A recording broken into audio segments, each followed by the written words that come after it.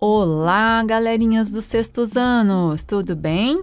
Começando a nossa aula de sexta-feira, hoje a reflexão traz o seguinte: Graças dou ao meu Deus, lembrando-me sempre de ti nas minhas orações. Está em Filemão, capítulo 1, versículo 4. Será que você tem se lembrado de alguém nas suas orações? É importante a gente se lembrar porque às vezes a gente pensa que só nós temos problemas e dificuldades. E quando a gente olha um pouquinho do lado, a gente vê que tem pessoas que têm muita ma muito mais dificuldades do que a gente. Vamos lembrar dessas pessoas e vamos estar orando por elas também. Isso vai fazer bem para nós também, ok? Convido você agora a prestar muita atenção, pegar seu material, acompanhar a correção. Primeiro exercício: escreva os números em ordem crescente.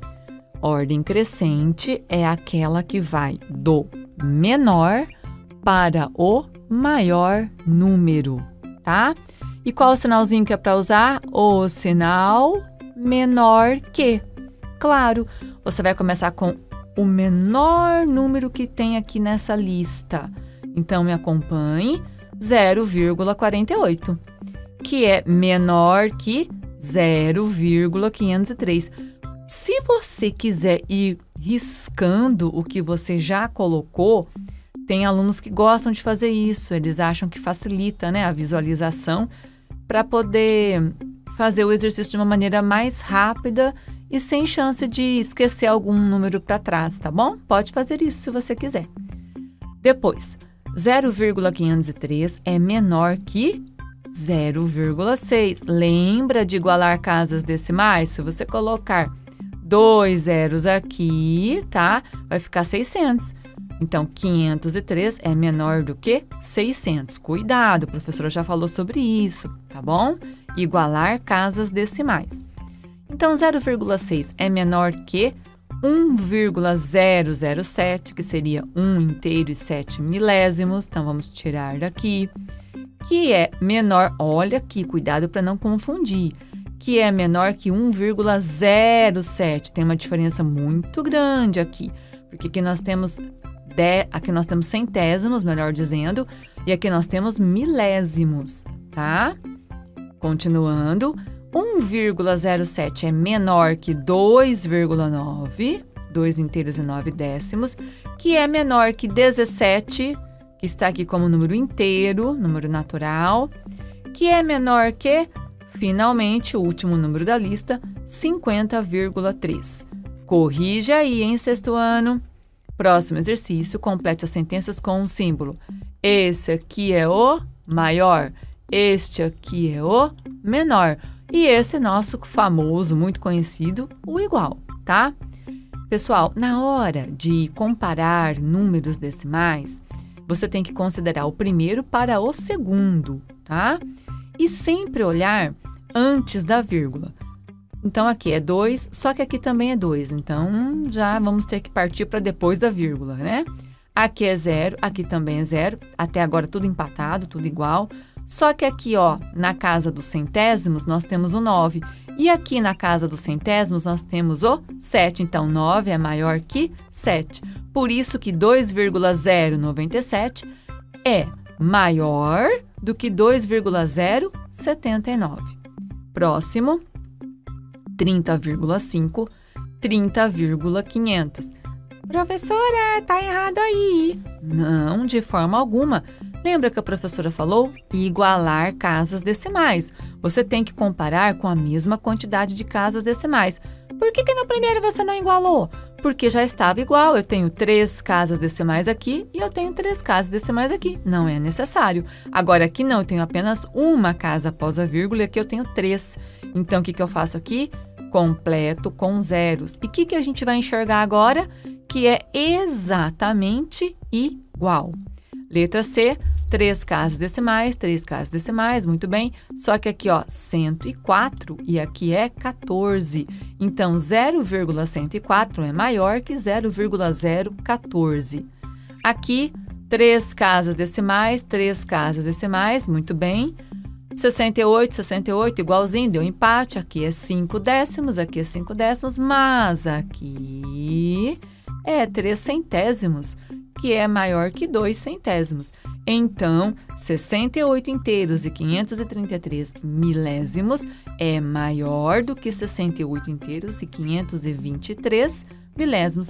É bem fácil, sexto ano, é bem tranquilo, porque a gente já consegue enxergar qual número é maior, né? Então tem que tomar cuidado quando não está igualado as casas, mas aí basta você completar com zeros e não fica difícil. Aí estava pedindo para que em seu caderno você escreva com suas próprias palavras, tá bom? O que nos leva a falar para você que essa resposta é uma resposta pessoal, tá? O passo a passo para comparar dois números na forma decimal. Aqui tem uma sugestão. Comparamos as partes inteiras. Lembra que a professora falou para vocês? Olha primeiro antes da vírgula. Olha primeiro antes da vírgula. Bom, Caso as partes inteiras sejam iguais, a gente viu que isso aconteceu, ó, tanto aqui na letra A, na letra D, aqui também, ó, na letra C, a gente viu que foi igual. Caso isso aconteça, comparamos o quê? As partes decimais, as partes que vêm depois da vírgula. Claro que você não é obrigado a escrever com as palavras que estão aqui, afinal de contas, deixou bem claro aqui que é com as suas próprias palavras. Então, pode passar certo aí, sexto ano. Próximo exercício. Usando todas, todas as fichas a seguir uma única vez. Então, não pode repetir a ficha, tá? Que fichas? Essas aqui, a da vírgula, a do zero, a do 9, a do 4 e a do 7, tá? Você precisa escrever, usando apenas estes algarismos, o menor número possível. Claro, se quer o menor, a gente vai começar com zero. Isso é lógico. Então, ficou aqui zero e a gente vai pegando sempre do menor para o maior. Então, 4, aqui ó, usamos o 4, usamos o 7 e usamos o 9, certo? E claro, a vírgula também, né? Tudo bem? Escrevemos aqui o menor. E agora é o contrário, é o maior. Se quer um maior, a gente tem que começar com um maior algarismo. Isso é lógica. Então, por isso que começou com o 9. E agora a gente faz uma sequência sempre do maior para o menor, né? Então, depois vem o 7, depois vem o 4, a vírgula e finalmente o zero. Então, aqui nós escrevemos 0,479, que é o menor, e aqui nós escrevemos 974, que é o maior. Agora a letra C. Um número que está entre 3 e 5. Pode ser 2,9? Claro que não. Mesmo porque nem 2 tem aqui, né? Tem que ser os números que estão aqui, tá? Ah, então não pode começar com zero. Claro que não, porque tem que estar entre 3. Então tem que começar com no mínimo 4, porque 3 você viu que não tem aqui na ficha. Então depois do 3, quem é que tem aqui na ficha? O 4. Por isso que a gente tem aqui as sugestões, ó.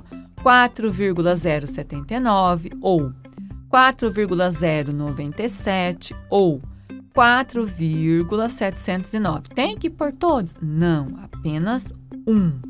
Um número. Aqui temos sugestões porque a, a, o aluno pode ter feito de forma diferente, tá joia? Então aqui já, você já fica visualizando as formas que tem de responder, tá bom? Próximo exercício. Na etapa da Copa do Mundo de Ginástica Artística disputada na Austrália em 2018, dois jovens atletas brasileiros conquistaram vagas na final. Nós temos a Isabel Barbosa, que conquistou vaga na final da prova de trave com 11,033 pontos e na prova de solo com 13,0 pontos. No caso, 13 pontos, né? Já o atleta Luiz Porto conquistou a vaga na prova de salto com média de 14,199 Olha a pergunta A. Entre as pontuações apresentadas, qual atleta obteve a maior delas? E qual foi? Muito fácil. O Luiz Porto com 14,199 pontos. É só observar o enunciado. Sexto ano bem tranquilo de fazer esse exercício. Letra B. A Isabel Barbosa conquistou a maior pontuação na prova de trave ou na prova de solo? É só olhar que você vai ver que ela conquistou a maior pontuação na prova de solo. Está vendo aqui, ó? A trave foi 11,033 e a de solo 13, tá? Então ela conquistou a maior na prova de solo. Tranquilo em sexto ano, exercício 7 agora. As grafites usadas em lapiseiras são classificadas de acordo com a graduação e a espessura. Aí tem várias, né, pessoal? Então, para ir um pouquinho mais rápido, eu já vou direto para a leitura aqui das mais conhecidas. 0,3, 0,5, 0,7, 0,9 e 1,6. Tudo isso em milímetros. Muito bem, então qual dessas grafites apresentadas apresenta um traço de maior espessura? De maior é a de 1,6 milímetros e de menor é a de 0,3 milímetros. Tranquilo, tranquilo. Exercício 8. Tem um quadro, uma tabela com nota de três alunos do sexto ano em algumas disciplinas. Então, vamos observar a tabela? Quais são as disciplinas? Aqui, ó, ciências, história, matemática e língua portuguesa. Quais são os alunos? A Clara, o Rafael e a Patrícia, tá? Letra A. Quais alunos obtiveram nota maior do que 60, desculpa, do que 6? Maior do que 6 em todas. Olha a observação aqui, sexto ano. Bom, são dois alunos. Olha que beleza, hein? o Rafael e a Patrícia. Pode prestar atenção, olha. Vamos ver aqui as notas do Rafael: 8, 9,1, 7,5 e 6,3. Tudo maior que 6. E a Patrícia? 8,2, 8,8, 9,4 e 7,9. Tudo maior que 6. Infelizmente, a Clara não entrou na lista porque ela teve, olha aqui, ó, essa nota menor que 6, que é o 5,8, e também essa notinha em língua portuguesa menor que 6, que é o 4,2. Por isso, a Clara ficou de fora dessa lista. Letra B. Em qual das disciplinas ocorreu a maior quantidade de notas menores do que 7? Aí a professora ficou, ficou confusa. Vamos de novo. Maior quantidade de notas e essas notas têm que ser menores do que 7. Bom, vamos observar que foi aqui na disciplina de língua portuguesa. A gente teve 4,2 e a gente teve 6,3, que são notas menores do que 7. Então, só a língua portuguesa que teve duas notas menores do que 7. Letra C. Entre esses alunos, qual obteve o melhor desempenho? Pessoal, o melhor desempenho foi obtido pela aluna Patrícia. Olha, eu coloquei até uma observação aqui. Todas as notas da Patrícia foram maiores que 7,5, tá? Lembra desse símbolo? O símbolo do maior, tá? Então, todas as notas da Patrícia foram maiores que ela teve, né, notas maiores que 7,5. Então, observa aqui, ó, 8,2, 8,8, 9,4, 7,9. Ela foi muito bem. Tá joia? Vamos lá. Último exercício. Usando os números das fichas a seguir, os números das fichas que estão aqui embaixo, complete o que? A reta numérica. Isso, os números com vírgula, assim como os números naturais, também podem ser representados numa reta numérica. Então, vamos observar primeiro a nossa reta? Vamos lá. A, o exercício trouxe essa reta prontinha com os seguintes números: 0, meio e 1. Um. Claro, entre 0 e 1 um, temos meio. Então, 1 sobre 2 significa 0,5, tá? Então, aqui a gente tem 0,5. Quando você divide 1 por 2, você obtém 0,5, beleza? Bom, então a gente precisava olhar primeiro quais são os números. Vamos continuar. Vamos agora depois do 1, nós temos aqui, ó. Vamos olhar primeiro os números que não tem vírgula aqui, ó. 6 terços. Professora, mas é a fração. Sim, mas você aprendeu que é uma fração aparente, que você divide o numerador pelo denominador e você vai encontrar um número natural, tá? Então, esse 6 terços significa 2. Qual é outro número inteiro que tem aqui? O 3. Muito bem, agora vamos marcar os números com vírgula, tá bom?